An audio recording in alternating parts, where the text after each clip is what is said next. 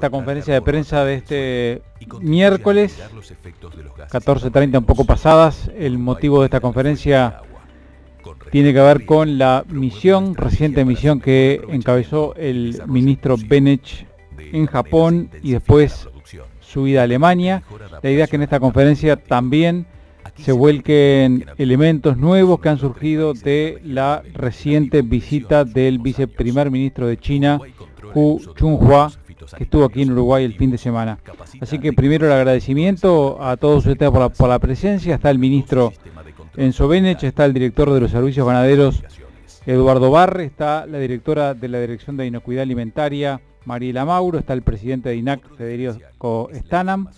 Así que con esta presentación vamos a, comenzar vamos a comenzar haciendo referencia a la visita a Japón. Una visita que tuvo algunos eh, momentos eh, medulares, centrales, con la llegada de los primeros embarques de carne vacuna a ese mercado. Después hubo una reunión en la que participó el ministro Benech con la ministra de Agricultura, Exportación y Pesca, Takamori Chikosguava, y también hubo una reunión con inversionistas en el marco de la YETRO con 160 inversionistas que participaron y el ministro estuvo allí. Así que con esta presentación y con este encare vamos a arrancar hablando de Japón y después vendrá el turno de Alemania para describir estas novedades que surgen de la gira. Le doy la palabra al presidente de INAC, Federico Stanam. Buenas tardes. Bueno, antes de, hablar específicamente de la actividad que se realizó en Japón, organizada por INAC y conjuntamente con UBA 21, relacionada a la promoción de la carne y, el país en general, comentario breve de lo que significa Japón como mercado para la carne. Japón es eh, la tercera economía del mundo en términos de tamaño. Japón es uno de los principales importadores de carne vacuna del mundo, es el tercer importador en volumen de carne vacuna del mundo. Japón está increíblemente como país desarrollado aumentando el consumo de carnes, de proteína animal. Japón tiene una tradición milenaria de un altísimo consumo de proteína de origen de productos del mar y por cuestiones de oferta, por cuestiones de hábitos de consumo y de las nuevas generaciones que no dedican tanto tiempo a la preparación de los alimentos, se está sustituyendo la proteína de origen marino por proteína animal. Algo bastante atípico en los países desarrollados que aumenta el consumo de carnes en general. Por supuesto que el mayor incremento se da en la carne de ave, luego en la carne de cerdo y bastante menor en la carne vacuna, pero es significativo ese hecho. Por otro lado, es un país que está bajando su producción pecuaria por también una cuestión de recambio generacional, el, número de productores, la producción en general, y es un país que entonces incrementa sus importaciones de carne vacuna. Ese combo es realmente eh, muy atractivo para un país tan exportador como es el Uruguay, y si le agregamos también el hecho de que es un país donde los alimentos valen bastante dinero y particularmente la carne vacuna vale mucho dinero, este, más allá de que tenemos que remontar una protección arancelaria bastante alta en relación a lo que es el promedio para nuestras exportaciones de carne, es un mercado más que atractivo. Ese mercado está eh, abastecido hoy en un 90% de sus importaciones de carne vacuna por dos países, Australia y Estados Unidos, más o menos 50-50, lo que determina que un país desarrollado, muy ordenado, muy bueno para hacer negocios, con una visión de largo plazo en, cómo se conciben los negocios y las relaciones estables entre proveedor y comprador, está abastecida más por los, yo diría que de los dos mejores proveedores de carne vacuna del mundo, como lo son Australia y Estados Unidos. De manera que ese es el escenario en el cual nosotros nos enfrentamos con esta excelente noticia que es la apertura de Japón desde el punto de vista sanitario. Entrando, poniendo eso como marco de introducción, pasemos ahora a cuál fue la actividad que se desarrolló. eh, básicamente la feria Fudex, que es una de las principales ferias de alimentación de esa zona del mundo, que se realiza desde el año 76 de manera ininterrumpida.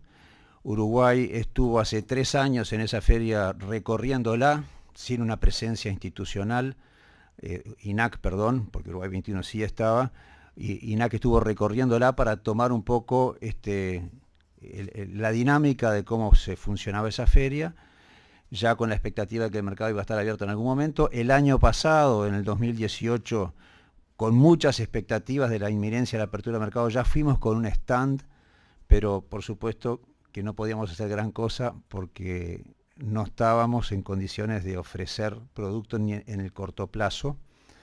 Y este año por primera vez entonces se va con un stand más importante en términos de tamaño, 90 metros cuadrados, con 14 empresas exportadoras presentes y ahora sí con el mercado abierto.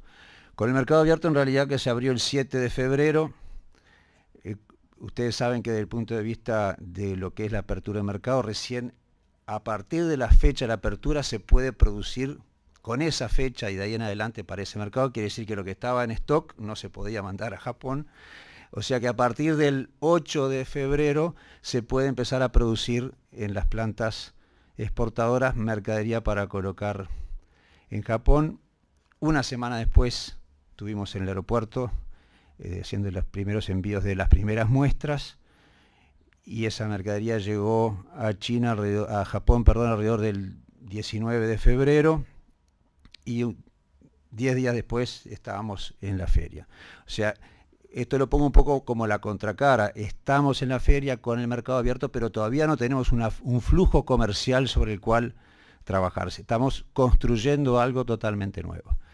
Eh, la dinámica de la feria que observamos, eh, muy distinta a la que estábamos acostumbrados de China, que es el, último mercado importante que se abrió y genera una fuerte corriente comercial. Ustedes se acordaron de las noticias de China de los últimos años, generalmente mostrando imágenes del stand de INAC desbordado de, gente interesada en averiguar cómo hacer para comprar carne o desarrollar determinados contratos de compra o organizar flujo de abastecimiento. Eso no, no sucedió en Japón. Japón es diferente, por lo que decíamos al principio, está todo ordenado ya el abastecimiento la importación en general está concentrado en un volumen relativamente pequeño de importadores, de manera que la dinámica fue totalmente distinta. Hubo contactos este, con los distintos importadores, pero no fue aquello masivo este, que estamos acostumbrados a ver en China. Y también por lo que yo decía al principio, lo que nos piden en Japón es, tenemos que ver, tocar, probar, saborear el producto uruguayo porque tenemos que convencer a la cadena hacia adelante de la importación de que es un producto que vale la pena incorporar al menú de, productos. De manera que, bueno, tenemos que de aquí en más y antes de febrero del año que viene, cuando sea la nueva edición de Fudex, hacer otras acciones, porque no podemos esperar un año completo para este, dar ese paso trascendente y apoyar el trabajo que tienen que hacer eh, los exportadores. O sea que estamos pensando en poco tiempo más, estamos haciendo las primeras evaluaciones al regreso del viaje, de la misión, con, a nivel de la Junta de INAC, para definir acciones de corto plazo que apunten a esto. Poner ya ahora sí a la vista y al sabor, al saboreo, de los distintos actores de la cadena comercial de nuestro producto. Eso es en línea general lo que podemos comentar de lo que fue esta actividad. Hubo un, evento social en el día, el, día del medio, el segundo día de la feria, que se realizó en un hotel muy importante de Tokio. Ustedes habrán visto las noticias en la prensa. Se invitaron a alrededor de 200 personas, este, importadores, referentes de los temas cárnicos. Y bueno, ahí se hizo una eh, se ofreció una comida que incluía, por supuesto, la carne como plato principal, además de otros productos uruguayos que teníamos los excelentes vinos, este, productos lácteos este, y otros productos a, disposición, aceite de oliva y caviar. Y bueno, ahí pudimos también este, comenzar a mostrar las virtudes de nuestros productos con, ese grupo selecto. Eso es lo que podemos adelantar por ahora. Gracias. Gracias, Federico. Hablando de carne, arrancando en el principio con la sanidad y lo que se ha destacado, que es acceder al mercado eh, tan exigente con una característica y un estado sanitario muy particular, le damos la palabra ahora a Eduardo Barri. Eh, buenas tardes a todos. Este, un poco, ya eh, ampliando un poco más lo que dijo Federico, es este, muy importante eh, la obtención de este mercado. Como ustedes saben, ya lo hemos dicho, es el, país, el primer país libre con vacunación, estatus reconocido por la OIE, que entra un país libre sin vacunación. estamos después de los países libre sin vacunación, el primer país en el mundo que entra en Japón, un mercado muy exigente. Eh, fueron 10 años de trabajo, de intercambio de documentos, de auditorías, y, en esta visita a Japón lo importante, más allá de lo que ha dicho Federico, fue el contacto con la autoridad sanitaria y el reconocimiento agradecimiento del MAF a los servicios veterinarios y al Ministerio de Ganadería por el trabajo que se hizo este, para poder este, que ellos eh, vieran lo que hacíamos en tanto en sanidad como en inocuidad. O sea, tienen el mayor de los conceptos y por eso es importante y valorar de Uruguay lo que hace a, nivel mundial. En cuanto a, lo que vimos en Japón, es un poco lo que ha explicado Federico, y también tenemos que tener en cuenta los cambios de hábito de alimentación. Eh, una de las características es que van a tener mayor consumo de hamburguesa. Y es importante porque nosotros vamos a entrar con bloque y trimming. Este, es un reconocimiento para nosotros y importante para nuestro mercado. Y bueno, eh, eh, queda toda la fase comercial, como dijo Federico, trabajar y explorar y ir en la próxima FUDEX un poco más este, armado a lo que es el, el mercado. en cuanto a los temas sanitarios, ya no queda más nada para hablar, ya está laudado. Esperemos que aumentar la venta de otros productos y que nos acepten otros productos que no podemos exportar hoy a, Japón. Gracias. Gracias, Eduardo. Eh, después de Japón, con, esta primera etapa de la salida encabezada por el ministro, el ministro se trasladó a Alemania y allí hubo en una agenda muy intensa actividades con el Julius Kahn, Kuhn, eh, con el BFR, con la cadena de restaurantes Blockhouse y después una reunión, y el ministro lo va a explicar ahora, con la ministra de Federal de Alimentación y Agricultura, Julia Lochner. Así que, ministro, eh, con esto te doy la palabra. Bueno, buenas tardes. Una vez más, muchas gracias por acompañarnos. Vamos a tratar de contarle lo más apretado posible, lo más esquemático posible, eh, eh, lo que hicimos en esta gira. Yo voy a empezar por Japón este, y voy a hablar poco o nada de la carne, porque ya hablaron mis compañeros, ¿verdad? Y ya estuvieron allí y lo hemos reiterado varias veces. Pero además de la carne, en Japón este, quiero manifestar que yo participé en una reunión de presentación organizada por Uruguay 21 y el Instituto Yetro, que es el par eh, de Uruguay 21 en Japón, que tiene una filial aquí en, Buenos Aires, muy cerca, y que van a estar viniendo a fin del mes de abril, próximo mes. En esa reunión había 160 empresarios japoneses interesados en Uruguay. Esto a mí me sorprendió. Yo creo que es una excelente noticia. Allí presentamos el marco que tiene Uruguay. Hubo experiencias de empresas que ya están en Japón en el rubro de programación y de la informática.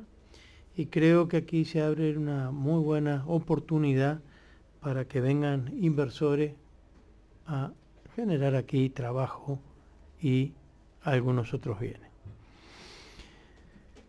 También quiero marcar dos cosas más de Japón. Tuve eh, el honor de participar de una entrega de premios, de una cata de vinos. Saben que, eh, no sé si saben, yo no sabía.